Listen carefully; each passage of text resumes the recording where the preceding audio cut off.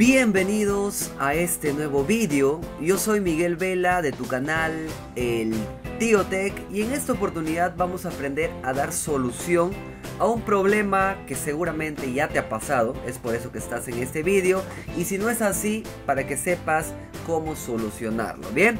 Estamos hablando eh, del problema que no podemos movernos entre las celdas eh, con las flechas del teclado. Por ejemplo, miren, yo voy a dar un clic acá y voy a empezar a moverme con, con las flechas de mi teclado y miren que no se va de celda en celda, sino acá en esta barrita horizontal empieza a avanzar. Miren, fíjense que se mueve prácticamente toda la pantalla, ¿no? Y no se mueve lo que vendría a ser eh, entre celdas, ¿no? No nos podemos desplazar entre celdas. Este problema surge, miren, es muy sencilla la solución, cuando tienes activa esta tecla, el block des, ¿ok? Miren, esta teclita que estamos observando.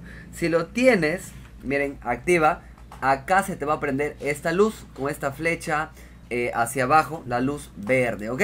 ¿Cómo lo solucionamos? Simplemente vuelvan a presionar acá en la tecla block des y va a desaparecer esta luz, esta luz y obviamente miren, yo ya lo desactivé, ahora sí puedo desplazarme entre celdas con las, eh, con las flechitas de mi teclado, ¿no?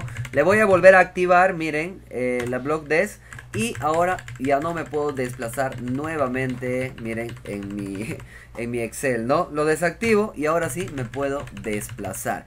En algunos teclados, miren, en algunos teclados también lo pueden encontrar como scroll LK. Lo voy a escribir por acá, ¿ok? Miren, para que no se confundan. En algunos teclados lo pueden encontrar como scroll, miren, así, LK, ¿ok?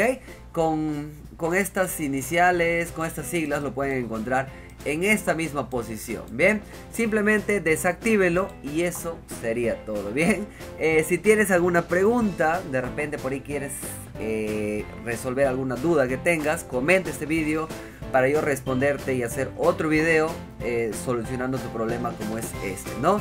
Yo me voy a quedar hasta acá, no te olvides de suscribirte a tu canal El Tío Tech y nos vemos hasta la próxima.